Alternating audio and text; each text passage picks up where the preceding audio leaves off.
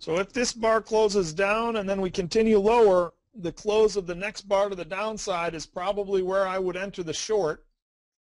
Um, that gives me enough room to get a nice target before we get to this minor DPTL. However, not much room before we get to the um,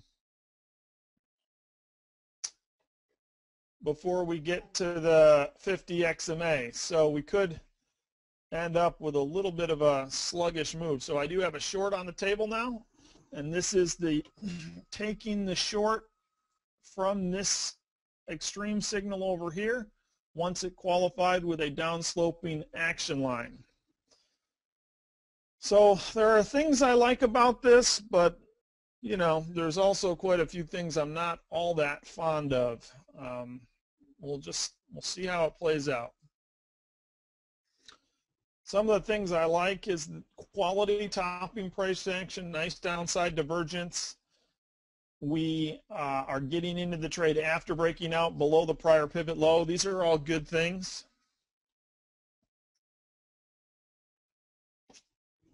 But what I don't love is that we have zero momentum, very sluggish. The 50 XMA connects as an intrinsic support area, so it could cause things to move more sluggishly. What I'm hoping is on the breakout of this prior pivot low that we do get a momentum push to the downside and just quickly get to a target. So we'll see what happens. There's three or four times as many contracts at 62 at 86.62 as on a normal price level. So a lot of people are putting their you know looking at that breakout of the prior pivot level also. And if we are if we do jam down through that level we could hopefully get a little bit of momentum that takes us more quickly to a win. We'll see. More quickly than the lack of momentum we've been seeing over the last 10 minutes. Make that 15 minutes.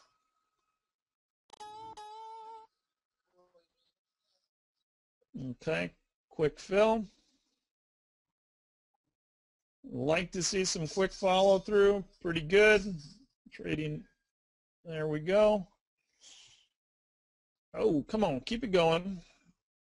We got right to that 50 XMA, guys, and some buyers came in. We got right to that 50 XMA and some buyers came in.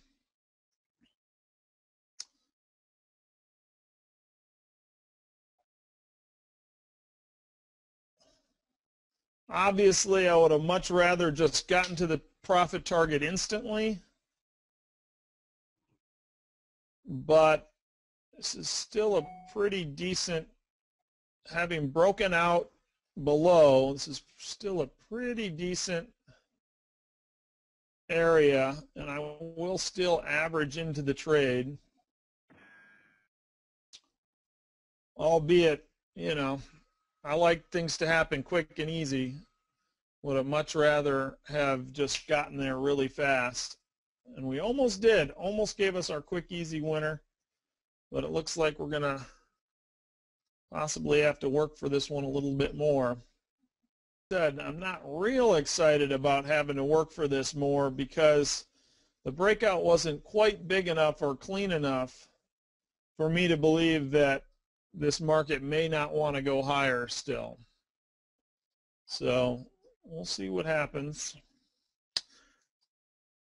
We got the NASDAQ trying to come lower. Not so much on the Russell. 6E is backing off a little bit. So I'm going to take some of my profit off here if I can get it from the average in and that will lessen the uh, negative impact if in fact this trade does not end up going higher. Well, looks like we might have some trouble on this one. Come on, baby, take it down. Look at our, our slow pulse still wants this market to push down a little bit, but not convinced it's going to happen here. So I'm going to try to take a graceful exit. If we get another dip, I'm going to try to take a graceful exit here and minimize the damage. If not, that's okay. So our first losing trade of the week. What's a little frustrating by it for me is the, fact that we almost got our target right out of the gate. That doggone 50 XMA gave us a, a problem there. Okay?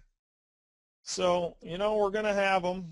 And having that be the first one of the week, I'm not going to complain too much. So let's stay focused here, and we may get another opportunity to, to get a win or two uh, before we come to uh, wrap up on the day.